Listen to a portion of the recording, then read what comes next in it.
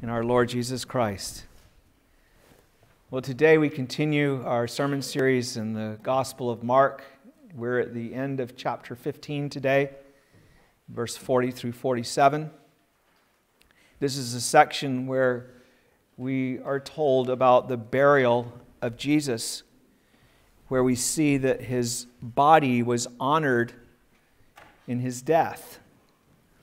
It's a matter that's actually covered in all four Gospels in some detail because it is something important for us to understand. It's in our creed that, about his death and burial.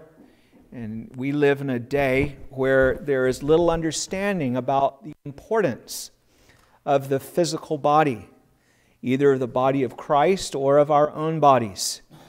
So, my prayer is that God will be pleased to rectify some of that confusion among us as we consider what His Word says here about the burial of Jesus Christ. Our scripture text begins in verse 40, Mark 15, verse 40 to verse 47. So please listen as I read this to you. It's God's holy and infallible word. Mark 15, 40. There were also women looking on from afar, among whom were Mary Magdalene, Mary the mother of James the Less, and Joseph and Salome, who also followed him and ministered to him when he was in Galilee, and many other women who came up to, with him to Jerusalem. Now, when evening had come, because it was the preparation day, that is, the day before the Sabbath, Joseph of Arimathea, a prominent council member who was himself waiting for the kingdom of God, coming and taking courage, went in to Pilate and asked for the body of Jesus. Pilate marveled that he was already dead, and summoning the centurion, he asked him if he had been dead for some time. So when he found out from the centurion, he granted the body to Joseph. Then he bought fine linen, took him down, and wrapped him in the linen and he laid him in a tomb which had been hewn out of the rock and rolled a stone against the door of the tomb. And Mary Magdalene and Mary, the mother of Joseph, observed where he was laid. And there we end the reading of God's holy word. May he add his blessing to it.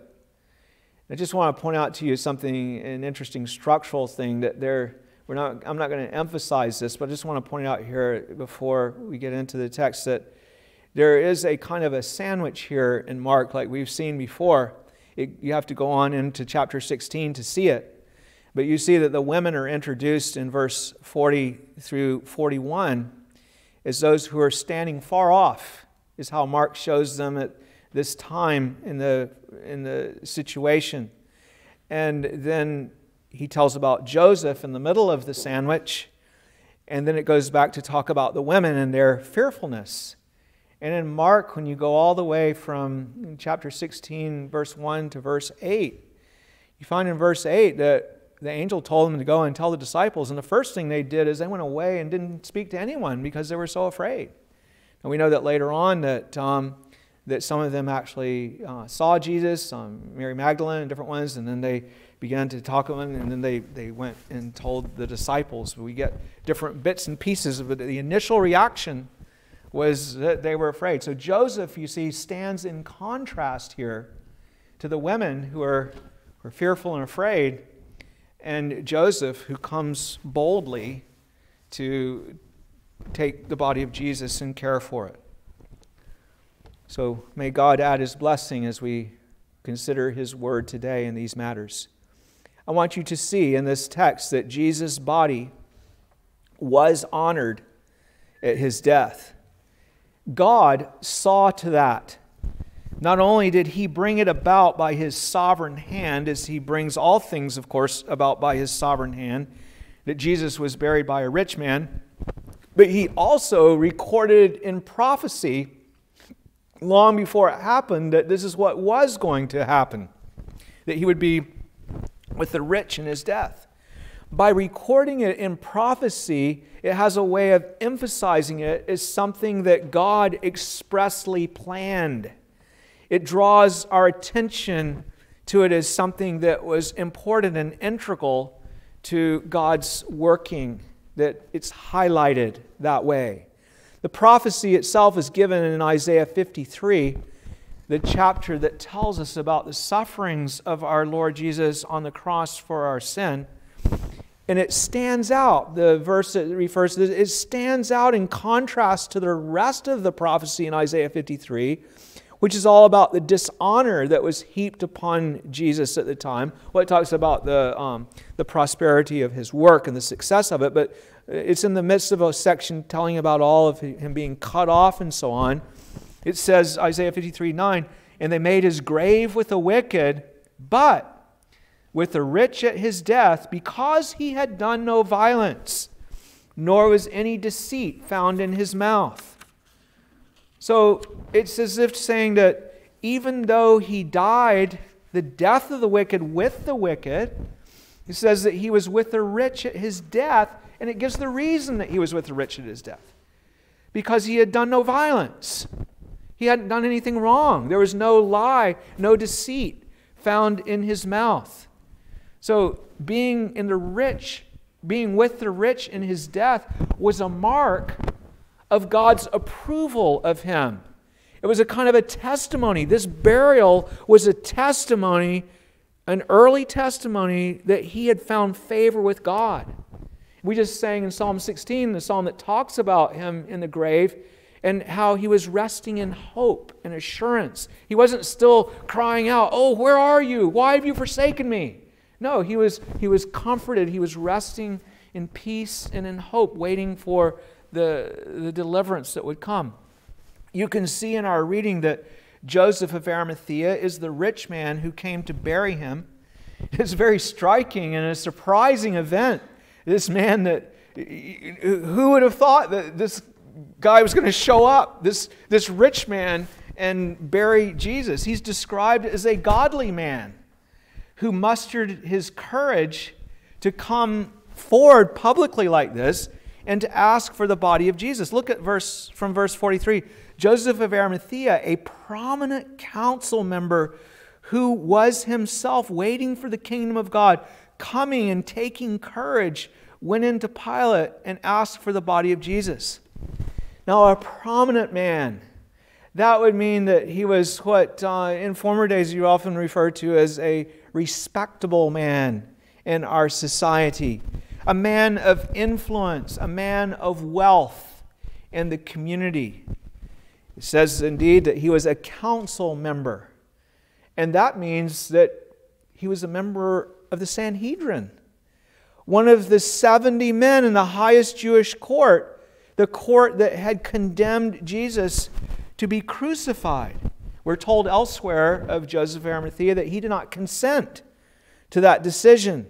We don't know whether he wasn't there when they uh, passed that sentence or whether he didn't vote, whether he abstained, whether he said no. We don't know how that went. But in saying that he was waiting for the kingdom of God, it also indicates that he was a man of genuine faith. Because that's how you would describe someone that trusted in the promise of salvation that God had made to his people, and they were looking and waiting for the kingdom to come, like Simeon and Anna that we meet early on in, uh, when, when Jesus is first born. It says that he took courage because by coming forth like this to honor the body of Jesus with an honorable burial, he would take on the reproach of Christ. Everybody would see that he was uh, associated to, with him, that he was sympathetic with him and this is all the more remarkable, it's all the more remarkable for a rich man to do that. Like Calvin says, you know, rich man can't stand to have their, a rich, prominent man in the community, he can't stand to have his, his reputation brought down in the mud like this. This is someone that had just been, been crucified, that, that had been rejected by Israel and his own people, and the Romans had agreed to, to crucify him. And, and this man had so much to lose. He had his position, he had his riches, he was giving everything in, in doing this. As Jesus said, it's harder for a rich man to enter the kingdom of heaven than for a camel to go through the eye of a needle. How much harder when it was in these circumstances that he comes forward. Joseph had been a secret disciple until now. This shows how God can, can bring a powerful work into the life of someone to, to turn them around. Someone that had been kind of walking with Christ, kind of accepting him, kind of believing. But now there's something that completely changes, and he's all out for Christ. He boldly comes forth. This passage goes on to explain the burial that he gave to our Lord. In verse 44 and 45, it tells us that Pilate, after finding out from the centurion that Jesus was dead, granted the body to Joseph. That's kind of significant because it's not likely that anyone but a prominent man like Joseph would have been granted that permission.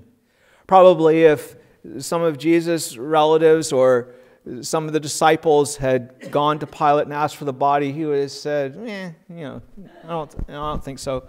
He, he was the man for the time. And not only that, but they wouldn't have had all the resources that they would need to be able to, to do this. He was, he was a rich man. He was, he was suited to give him this honorable burial. Where, where would they put him?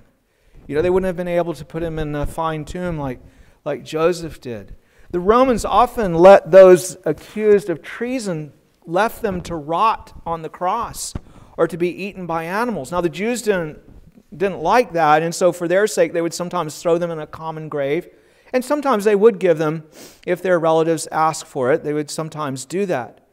But the reason that they didn't want to do that is because to give an honorable burial would sort of lessen the, the effect of the punishment. They wanted it to be a, a terror to the people that this is what happens to the one who commits treason. But of course, Pilate didn't really think Jesus had done anything.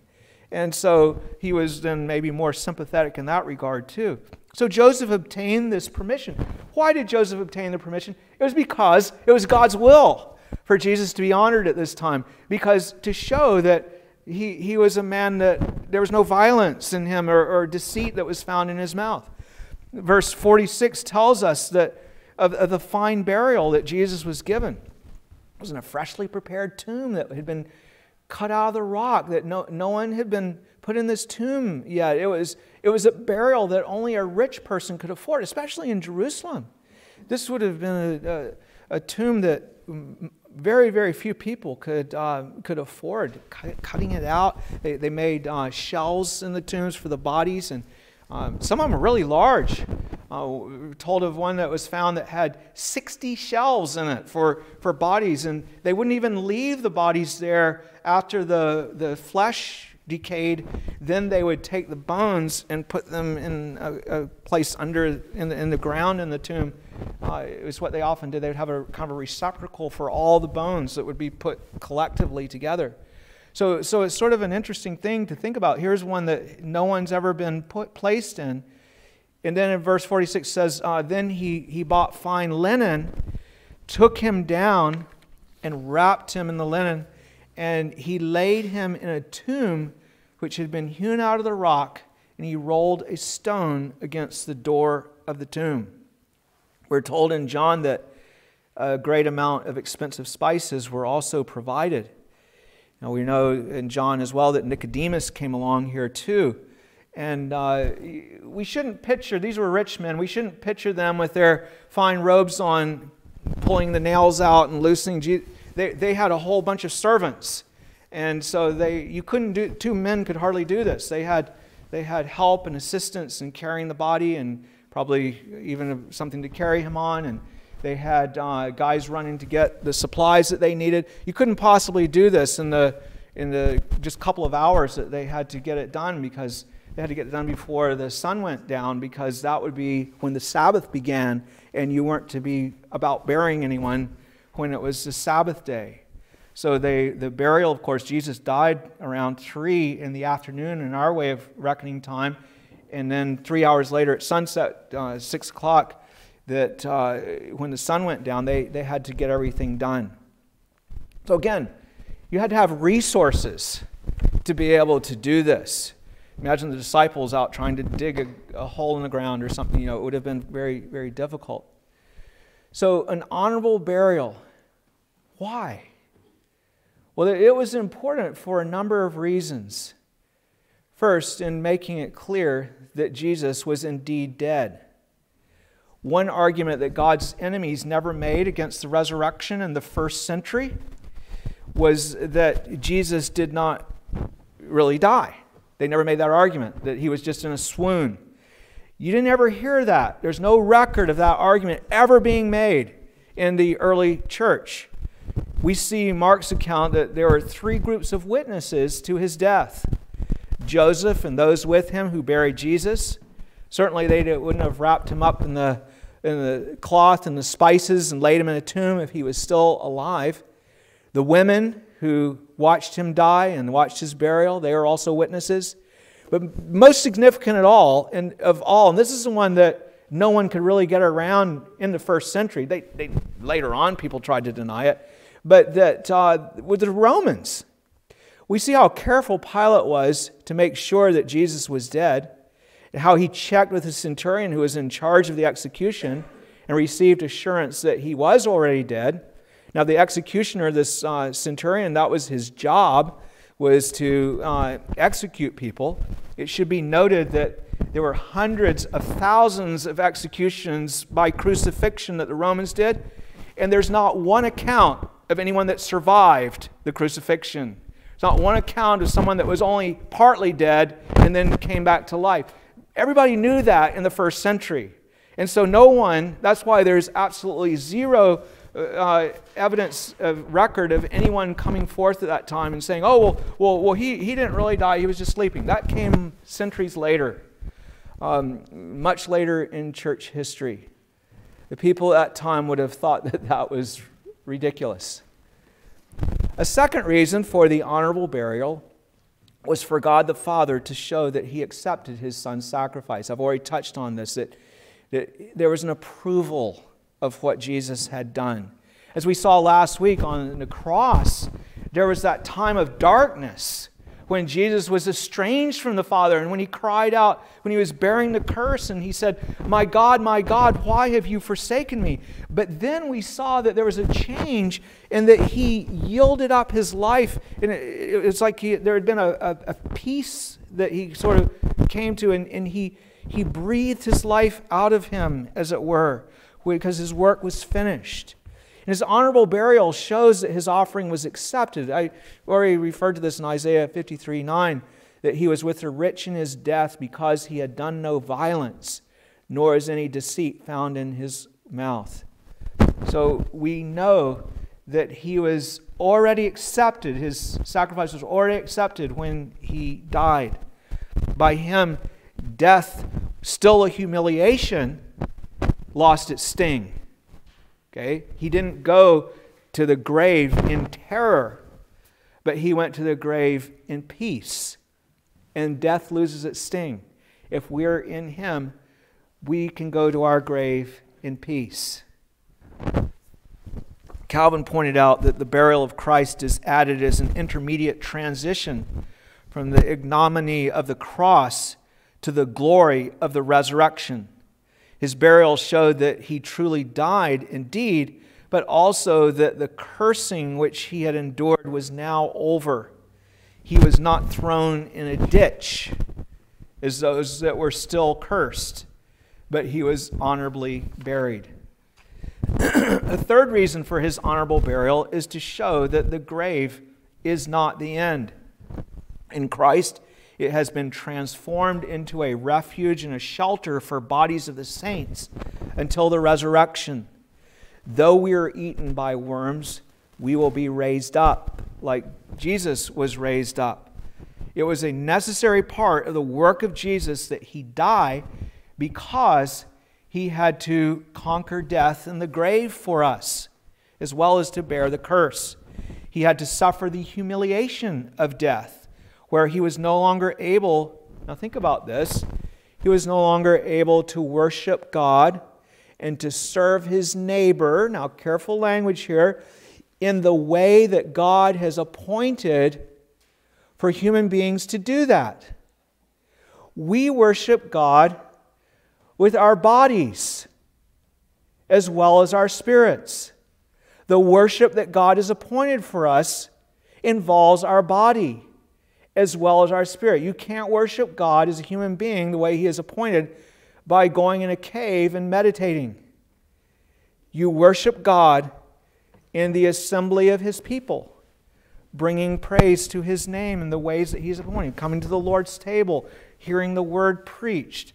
We worship God, bringing our prayers to Him. Related to that, the honor shown to Jesus' body emphasizes a fourth reason for this is it emphasizes how important Christ's physical body is. Honoring it even in death reminds us that he had to come to earth to and acquire a true human body and spirit to represent us.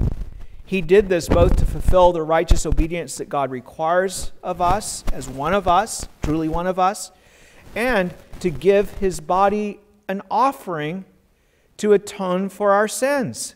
He says in Psalm 40, You have prepared a body for me, okay, that, that we might receive full pardon and forgiveness by that offering.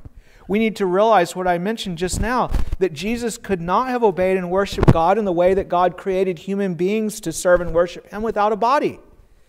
We were created to live on earth, elaborate on that a little further, to serve one another with our bodies, blessing each other with deeds of service, not just with warm feelings toward each other, um, things we do with our bodies. With our words, we speak to one another. With our material deeds of kindness, we produce beautiful things. We give a cup of cold water to someone. And our worship, again, it's, we, we do acts with our bodies. We, we don't do this in the recess of our heart. Jesus had to have a body to do these things. What did he do when he healed people? He touched them, or people touched him, or he spoke the word. He gave us food to eat when He was here in the body. He calmed storms. He sang praises. He preached. He went to the cross. He rose again in a body. Wherever He went in His body on earth, He brought blessing in that place. You remember the man that came and said, you, could, you don't even have to come and heal. But Jesus spoke the word. The man went to Jesus or sent to Jesus, and he spoke, and the servant was healed.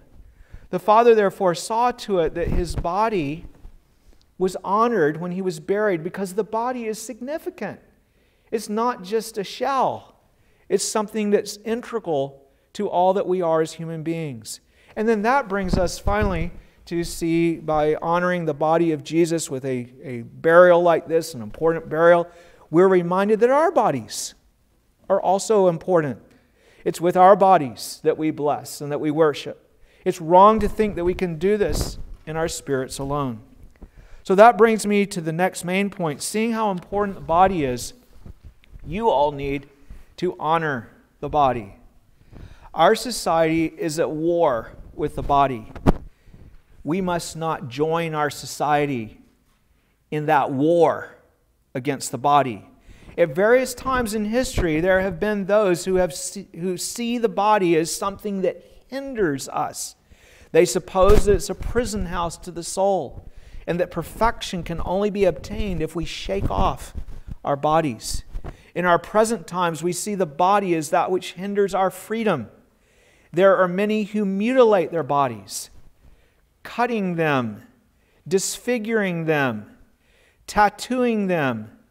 Suicide is an ultimate effort to escape the body, to get away from the body. There are many who give themselves to drunkenness or to drugs to alter their brains and the functioning of their brains and their perception. Now, I'm not talking about using medication to restore the body when it's broken. I'm not talking about having a repair of something that's broken or that's ruined by the fall. No, I'm talking about trying to escape the body. That's trying to bring the body to its proper health, but trying to escape and not glorifying God in our bodies.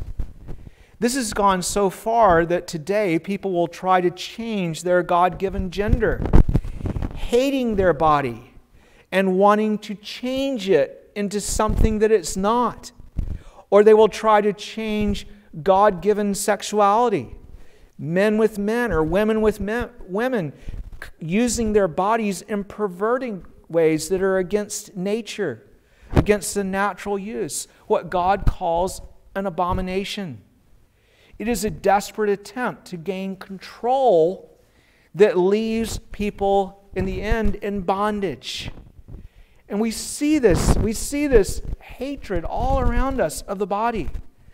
The right view is that we, including our bodies, were made in the image of God.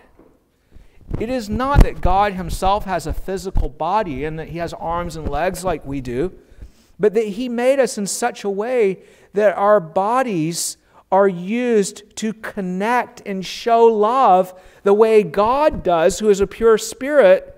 We do that as His image bearers with our bodies around other people.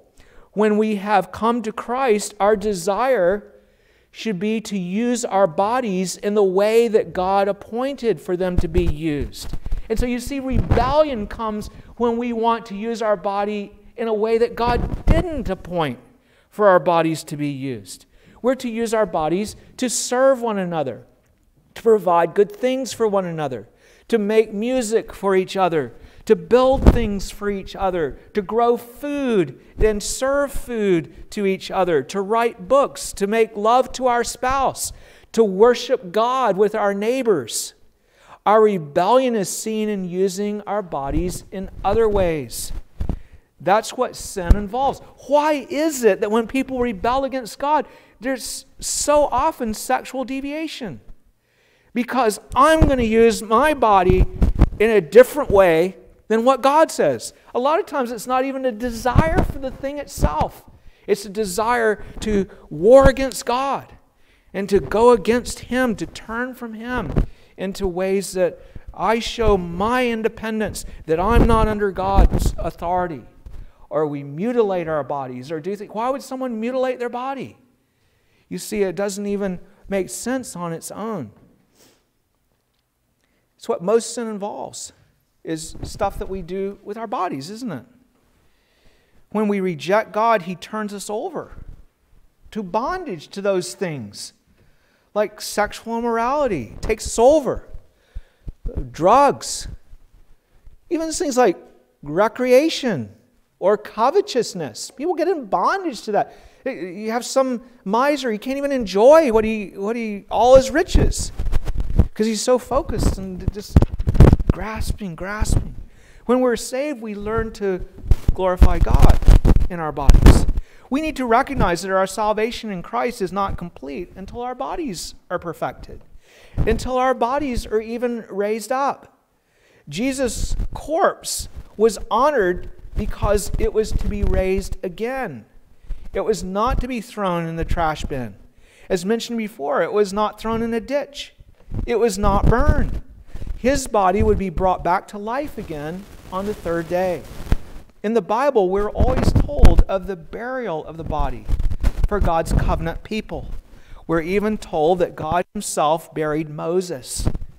And the reason for burial is because we're taught that these self same bodies will be raised again. It's not that if we're cremated or, or eaten by uh, animals or something, that our body can't be raised up anymore. Of course, it's not that.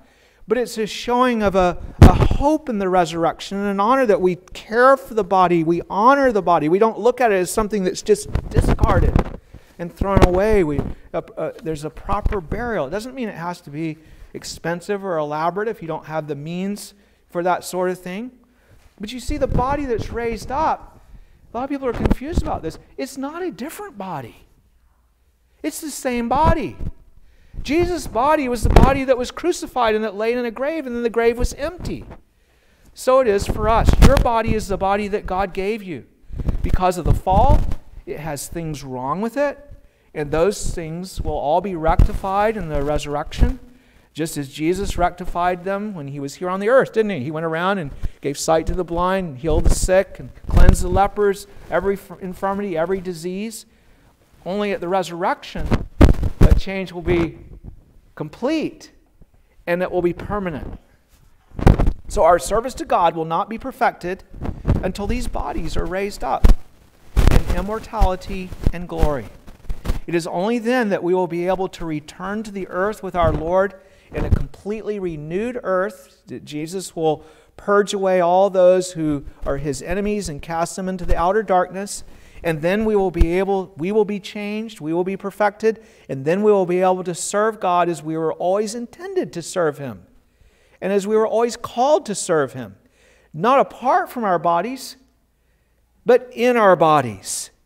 That's what we're looking for when we pray, Your kingdom come, Your will be done on earth as it is in heaven.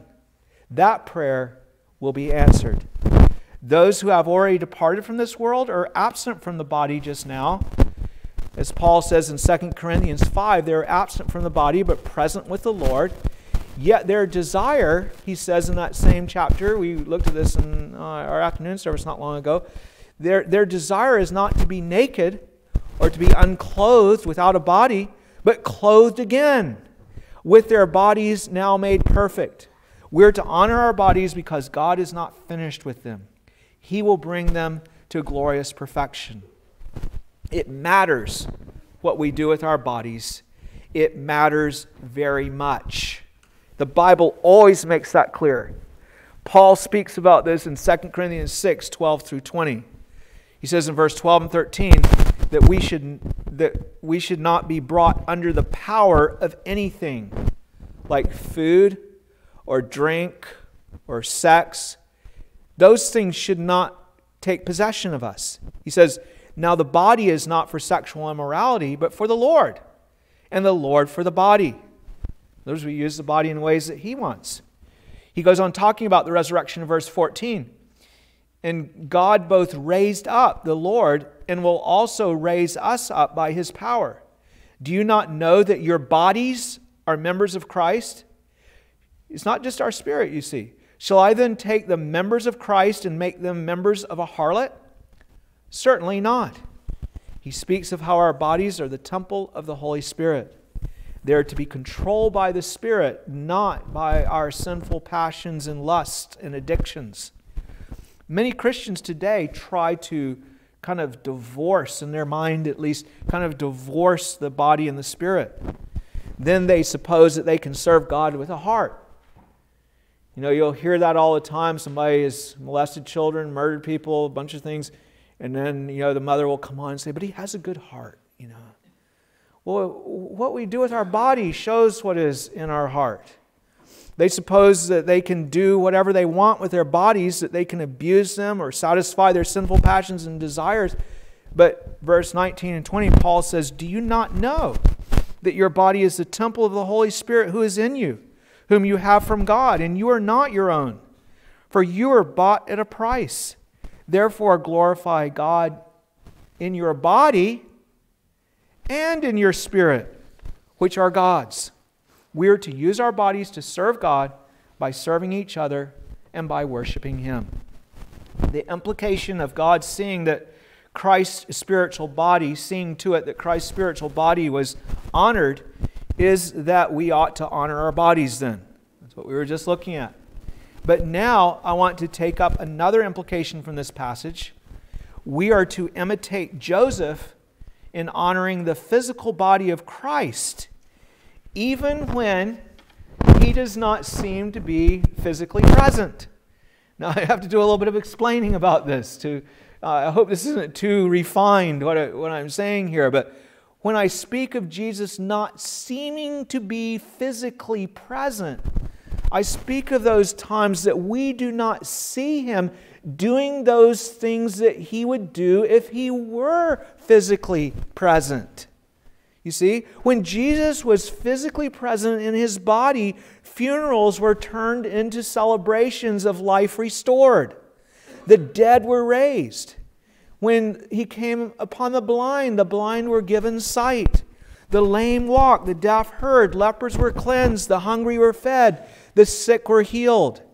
But now it is normal that we must bury our dead and they're not raised up that we have prevailing sicknesses and agony among us, that the blind often do not receive their sight, the deaf often do not hear. There are times when there is also oppression and persecution, when our enemies are strong and when we are weak and we say, Where is the Lord? Like if he were here, he could do something. Remember when uh, Lazarus died? If you had been here, then you could have prevented this. When there is drought and famine and destructive storm, when the church is failing, and when our enemies are oppressing and there is oppression among the leaders in the land, these are times that we wish Jesus was here. At such times, it can seem as if, that Jesus is dead. He seems to be as he was when Joseph took him off the cross a lifeless corpse. We say, Where is the risen Savior now? And indeed, it's true. It is not the same as when he was physically present, nor is it the same as it would be if he were physically present with us now, nor is it the same as it will be when he comes back with his resurrected body, it's already resurrected, when he comes back among us bodily to be with us forevermore. What ought we to do until he comes to live in that fullness of his bodily presence among us? Well, first of all, we ought to recognize that he does live among us bodily in a certain sense, a very important sense. We're told that he is our worship leader, for example. Hebrews 8, 1 and 2 tells us that he is very much alive in body as a minister of the true sanctuary. He says, Now, this is the main point of the things that we're saying. We have such a high priest who is seated at the right hand of the throne of the majesty in the heavens. Jesus has a resurrected body, and he is seated on the throne in heaven, a minister of the sanctuary, it says and of the true tabernacle which the Lord erected and not man. The ones that were on the earth were the ones we built. Jesus is there in the presence of the Father.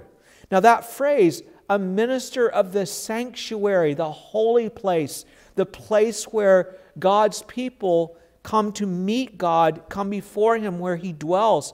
It's a word that the, the minister of the sanctuary, it refers to a liturgist of the holy place, the worship leader. He is bodily in the presence of God, and he is spiritually present with us when we worship, and we should see that as a kind of bodily presence. He's not here in that way that he will be, where we can see him, but he's not just a spiritual, but a bodily being, a human in our flesh. As such, it is our risen Lord who calls us together to worship. Psalm 22 25. He promised, he made a vow, we sang that earlier, that if God heard him from the cross when he made his, himself an offering for sin, that he would then, he promised, he vowed, gather his brethren together. He does that all over the world in a bodily way. He gathers us together to declare the gospel to them and to feed them. He says, The poor will eat and be satisfied. He is our risen Lord who sings praises with us. In Hebrews 2:12 he says, "In the midst of the assembly I will sing praise to you." He is not dead, he is alive and he is with us when we gather to sing. He who has a body is with us. It, it is in a spiritual way, in a sense. But he's not one who is just a spirit, he's one of us. It is our risen Lord who speaks to us when the word is preached. He also said in Hebrews 2:12, "I will declare your name to my brethren." And so it is that Paul can write to the Ephesians who had believed, who had never met Jesus when he was on the earth in a in, in his body on earth, and he could say that uh, he, he could say to those who had believed, he speaks of them as those who have heard him. He says, they've heard Jesus. And of having been taught by him, not of him, but by him. It's Ephesians 4:21. It is he who speaks to those who believe. He said in John 10 27, My sheep hear my voice, and I know them, and they follow me. And he said there would be a whole lot of sheep that were not of that fold that would hear his voice. How do they hear that? Through the preaching of the word that he appointed, he accompanies that word so that we actually hear him. If our risen Lord who strengthens us, it is our risen Lord who also strengthens us to pray and who prays with us. He says that after his gone, he is gone, his disciples' prayers will be even stronger than they were before. John 14, 12. Most assuredly I say to you, he who believes in me, the works that I do, he will do also, and greater works than these he will do, because I go to my Father. And whatever you ask in my name, that I will do, that the Father may be glorified in the Son. If you ask anything in my name, I will do it. It is upon the body of our risen Lord that we also feed when we come to the Lord's table. 1 Corinthians 10:16 The cup of blessing which we bless is it not the communion of the blood of Christ? The bread which we break is it not the communion of the body of Christ? The one with whom we have communion at the table is not dead. He is crucified, but he is very much alive and shares his life and virtue with us when we come to the table. He is very much alive. Still, it is a fact that there are times when his presence seems more like a corpse to us or an absence than a living present Savior. And so it is. It is that that's a fact. When that's so, we need to learn a lesson from Joseph of Arimathea. When did Joseph minister to Christ? When he was a corpse, when his body was dead. This man stands out among all the rest because he did something that no one else was doing at this time.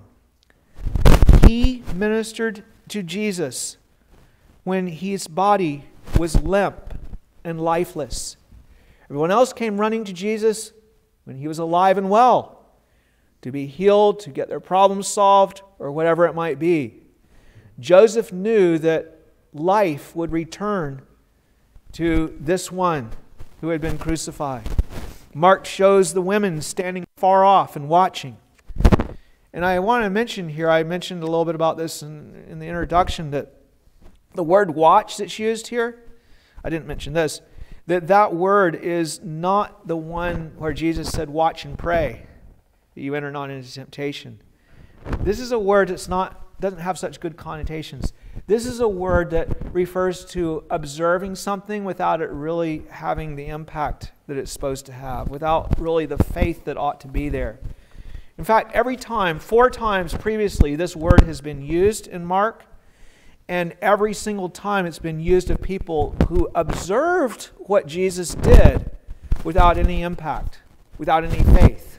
They saw, but they were not changed. So you see how in verse 40 it says that they were looking on from afar. That's the word watching that I'm talking about. They were looking on from afar. And Mark uses this word several times here. And then verse 47, that they observed where he was laid. They watched, they saw. Then in, in chapter 16, they were wondering how they would move the stone when they go to anoint the body of Jesus themselves. And then they were alarmed when they see the angel who tells them that Jesus is risen, and the angel then instructs them to go and tell his disciples.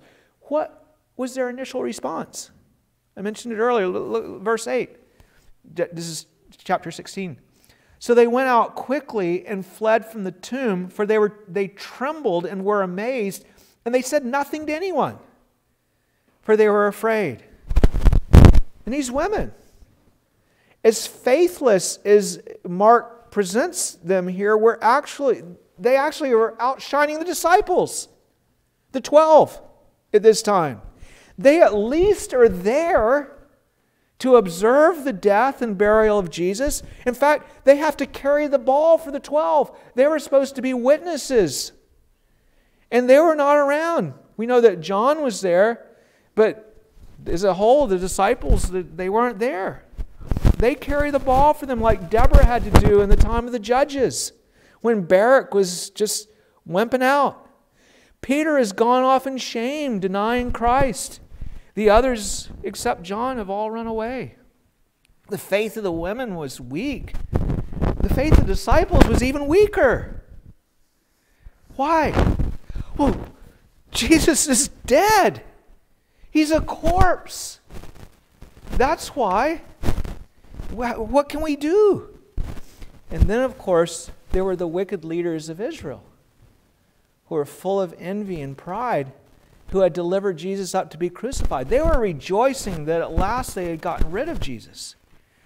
They were like leaders today when they have some success in pushing down the sound of the gospel and pushing down the Lord and the land for a time when they can get it out of sight for a little while, put it out of the way. The mob that had joined the leaders, the wicked leaders, were probably more or less indifferent about it all. They weren't so threatened and envious that way about Jesus. They, it didn't matter much to them that Jesus was gone, like the mob today. If the church is prospering, not prospering, it's kind of kind of irrelevant to them. That's the way it is sometimes, isn't it? It's times when it's not prospering. Where are the people of, of faith? Indeed, it was a hard time. Jesus, who ministered in his body among them, was now a corpse. Even so, Joseph comes forward at that very time, the time when things were at their very lowest, and it seemed like Jesus was finished. He takes the body of Jesus and ministers to it, he cherishes it, he does what he can. My brothers and sisters, God can give you faith at times when it seems like everything is dead in the church. Jesus' ministry has not and will not end. He will yet work among us. He has withdrawn for a time, at various times, as he did here, but he will return with power and he will be gracious to us. Do not lose heart. Be like Joseph and honor him. Prepare for him to arise among us. Prepare the way for his resurrection. Looking, uh, he will return to us after two days, and then on the third day, he will return. We don't know how long those times will be, but you're to have faith when he is buried, not seen working powerfully among us, and faith when you do not see his hand visible among us. Honor him with faith that is expressed in what you do to his body. Hear and obey his call to worship that goes forth. That's what we have. Sing praises with him, rejoicing that he lives among us. Receive his word with living faith, hearing him who calls you. Lift up your prayers fervently in his name whoever lives to make intercession for us. Come to his table. Look for nourishment and strength. For on that table is the body of him who is crucified, but who is now alive, ever ready to work among us. And bless his people who are his body. Do what you can to continue to serve Christ when things are dark. Don't ever lose heart. Turn to Him and serve Him with the eyes of faith. He will come among us with power, He will have mercy. Do you know the people who were like Joseph that I admire so much, Joseph of Arimathea, that I admire so much in the Old Testament that I often think about? Those people that were in Egypt for the years when they were in bondage and all they had was a promise that God's going to bring you out, He's going to bless you, and you take Joseph's bones when you go to the land, and then He's going to establish you as His people. They lived and died there without any prospect that they were going to be delivered in their lifetime. And in fact, God had told them that they would be there for a long, long time. And those people that had faith at that time, there weren't very many, but there were always those who had faith in those days that our God will come for us, our God will visit us. Even if it becomes in our land illegal to be a Christian, I could easily see those days coming. Illegal to worship. We must continue to honor Jesus whether we're in prison, whether we're threatened with execution, we continue to honor our Lord because He lives. We honor Him bodily and not just in the secret recesses of our heart. If sickness overtakes you, if friends fail you, if Christian leaders fail you, if oppression and persecution comes like a tsunami, continue to honor the body of Christ, even when it seems lifeless. You will see him rise on the third day. Please stand.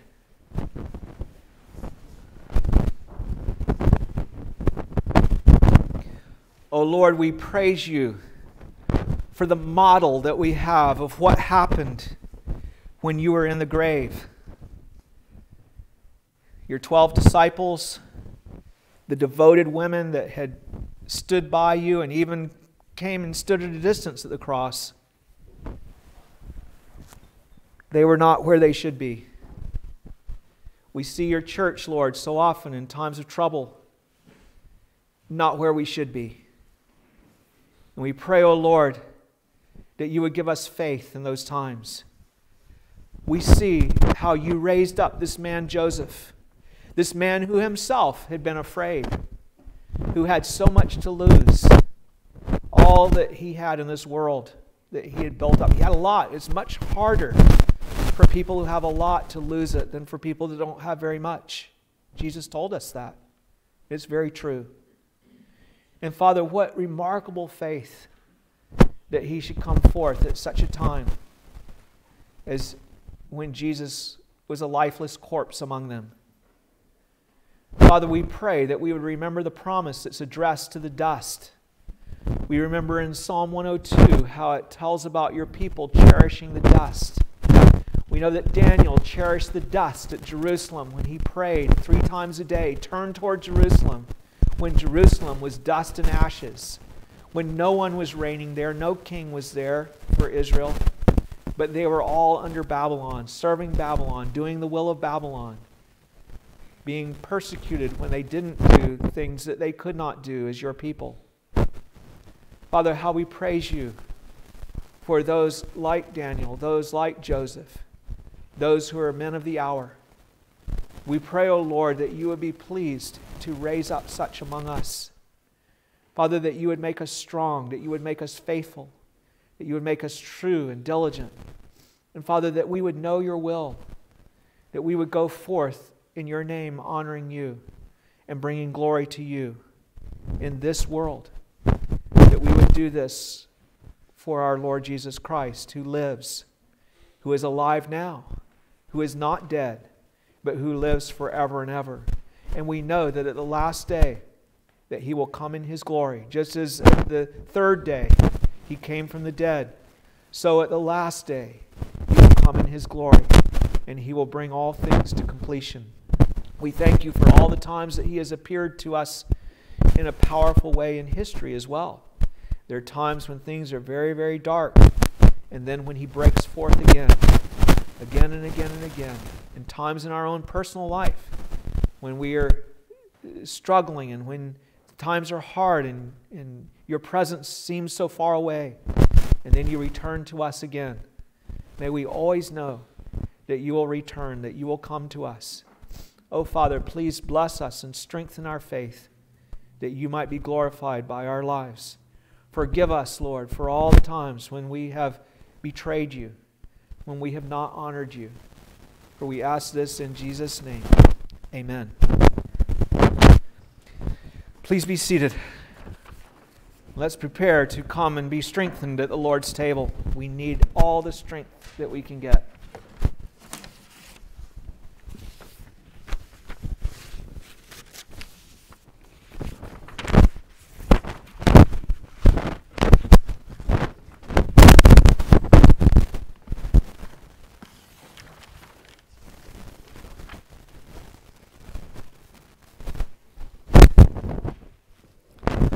Lord's Supper is closely related to what we looked at, of course, today about Jesus' body in Mark 15.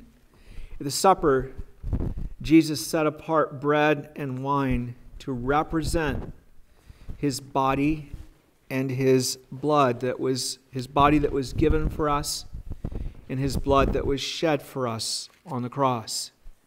He tells us very plainly that his blessing comes to us through his flesh, through his sacrifice.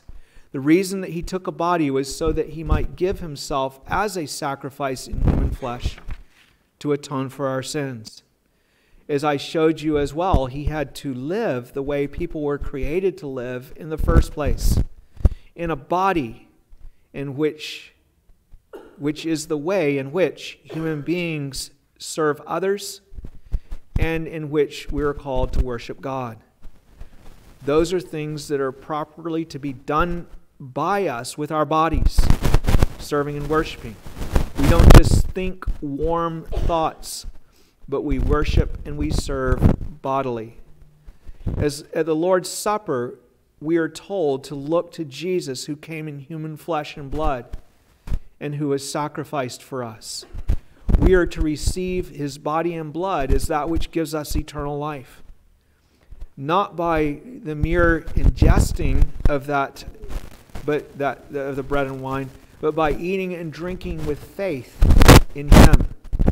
His body at the table is a body that was crucified, but also a body that was raised again so that we come to Him not as a dead Savior, but as a living Savior. A Savior that was dead, but a Savior that now lives. A Savior who is able to give us life by His living body. This is a representation of His living body. It's not actually His flesh and blood like transubstantiation would teach his living body is living. It's in the, in the tabernacle that's made without hands above. And it's that body that we connect with when sacramentally we eat the bread and the wine in faith. And that living body that was crucified for us nourishes us. This is the trysting place, if you will, the place where we bodily connect as we come in faith, looking to God to bless us. What assurance and peace it ought to give us to remember what He did and to look to Him for the blessing that He promises. Here are the words of institution 1 Corinthians 11 23. Paul says, For I received from the Lord that which I also delivered to you that the Lord Jesus, on the same night in which he was betrayed, took bread, and when he had given thanks, he broke it and said, Take, eat, this is my body, which is broken for you. Do this in remembrance of me. In the same manner, he also took the cup after supper, saying, This cup is the new covenant in my blood. This do as often as you drink it in remembrance of me. For as often as you eat this bread and drink this cup, you proclaim the Lord's death till he comes. Therefore, whoever eats this bread or drinks this cup of the Lord in an unworthy manner will be guilty of the body and blood of the Lord. But let a man examine himself, and so let him eat of the bread and drink of the cup.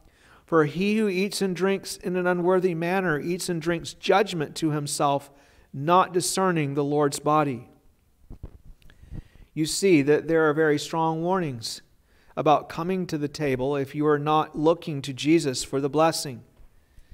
This is because what we saw the risen, living Lord Jesus who was crucified is present when we come to this table, to this sacrament. The bread and wine do not change into actual body and blood because his body is risen and he is alive.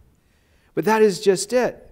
We connect with Him in this ordinance as a living Savior who acts, who works, who does things among us as He did when He was here in the flesh. we encounter the one who is alive, and that has consequences. That's why there's warnings. If you come in the wrong manner, not looking to Him in faith, not looking to be fed by Him, it brings cursing. If you come looking to Him to feed you, you do get spiritually fed and nourished and strengthened. He lives. So we come to Him as a living, risen Savior who was crucified as shown by the bread and the wine on the table. You should, you should not come unless you are a communicant member of His church, unless you are a believer who is actively looking to Him. My prayer is that He will meet you here. That is what He promises to do, and that we will be fed by Him who was crucified and risen again, raised again for us. Let's ask Him to bless us. O Lord Jesus, you have given us this sacrament to make the fact that you are alive, that you were, truly were crucified, and that you are alive to minister to us now as the risen, crucified Lord, the risen Lord who was crucified. If you hadn't been crucified, you wouldn't be able to minister to us. But because you were crucified, then you're able to bring life to us, to bring forgiveness to us, for you have made atonement for our sins. So, Lord, we come to you now and we plead with you to come here, to come near to meet us here, to make it evident that you have met with us, to work in our lives. Lord, we are in a time when sometimes you are far away from us. And we pray, O oh Lord, that you would come near, that you would draw near to your people, that you would work in us the way you worked in Joseph, or the way you worked in some of the people in the Old Testament who trusted you when there was no real evidence of your hand around them. They saw much evidence of your hand, but not in the big ways. They were slaves in Egypt or, or slaves in Babylon. Father, we pray that you would give us faith like Daniel had. We're, we're here, Lord, presenting ourselves before you as needy sinners asking you, Lord, to visit us here at this table now. To visit us, Lord, and, and strengthen us that we might go forth in your name. Father, that we might use our bodies in this world to worship you and to bless our brothers and sisters in the world in the ways that you have appointed for us to bless them, in the ways that you have appointed for us to worship you. Father, our idolatry, and our immorality is what so often characterizes us as human beings. It is a perversion, it is distortion of what you made us to be and to use our bodies for. Our bodies were not made for idols to worship them. Our bodies were not made for sexual immorality or for gluttony or for drunkenness. Our bodies were made to bring glory and honor to you, our Lord and God to live beautifully, visibly beautifully. And we pray, O oh Lord, that you would grant that to us. We are before you, Lord, crying out to you for your mercy. Look upon us, Lord, and have pity upon us, for we are weak. We confess that we are weak. Are we like the women? Are we like the disciples? Are we like the mob? Are we like the Pharisees? Father, have mercy wherever we may be. Where our eyes are upon you, O Lord. In Jesus' name, amen. Now, the blessing of the Lord our God. Now, may the God of hope fill you with joy and peace in believing, that you may abound in hope by the power of the Holy Spirit. Amen.